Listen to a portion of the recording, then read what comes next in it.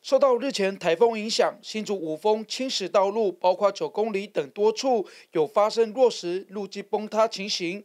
为了考量人车安全，已进行暂时性封路。桃山村长陈树莲指出，这地区还有族人居住，建请相关单位尽速处理。今天村民也是还到我村办，说那边还呃土石流还不能过啊，还有人住了，有住家，所以我们想说还是要尽快的要去抢修。对此，乡公所已向县府提报抢通抢险工程，近日将进行县地会勘，只要县府同意，会立即派员跟机具进场修复、恢复行驶。后续还会再申请灾后复建。我们尽速抢通抢险，跟甚至后续的一个复建，我们希望让这样子一个这样子的一个美景跟呃圣地，让我们的游客来分享出去。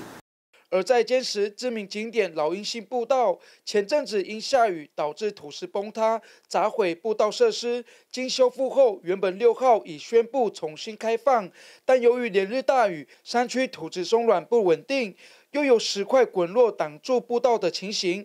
为了游客安全，决定从七号开始再度预防性封园。呃，风雨侵蚀以后，啊，有遭遇损坏哦，那在来改善跟修复以后。才开始开放老鹰溪步道的一个呃这个这个场域。公所表示，会持续密切观察园区，确认无安全疑虑后，再重新对外开放。也请民众切勿冒险擅自闯入，以免发生意外。有事新闻胡松把度新竹监视五峰采访报道。